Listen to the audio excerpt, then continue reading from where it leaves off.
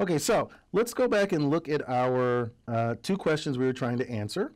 Um, and so far, we've answered the first one learn over a subset of data to find a rule by choosing that subset uniformly randomly and applying some learning algorithm.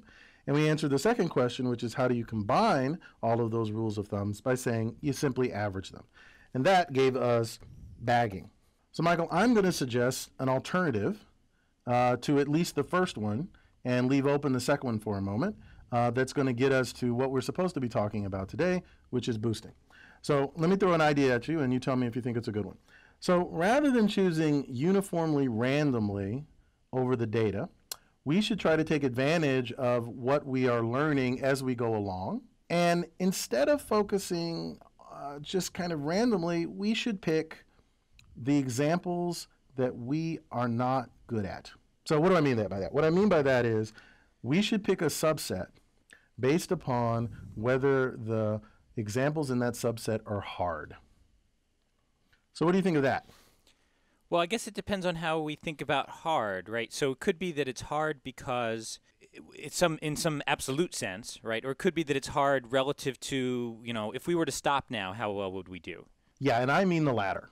Oh, okay. All right. Well, that I feel like that makes a lot of sense. I mean, certainly when I'm, uh, you know, trying to learn a new skill, I'll spend most of my energy on the stuff that I that I'm kind of at the edge of being able to do, not the stuff that I've already mastered. It can be a little dispiriting, but it but it, I think it, I make faster progress that way. Right. And if you if you go back to the example that we we started out with with spam, right? If you come up with a rule and you see it does a very good job on some of the data, some of the mail examples, but doesn't do a good job on the other, why would you spend your time trying to come up with more rules that do well on the email messages you already know how to classify?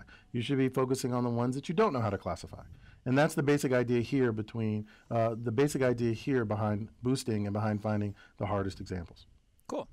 Okay, so that answers the first one. We're going to look at the hardest examples, and I'm going to define for you exactly what that means. I'm going to have to uh, introduce at least one technical definition, uh, but I, I want to make certain you got that. And the second one, the combining, well, that's a difficult and sort of complicated thing, but at a high level, I can explain it pretty easily by saying we're still going to stick with the mean. Okay.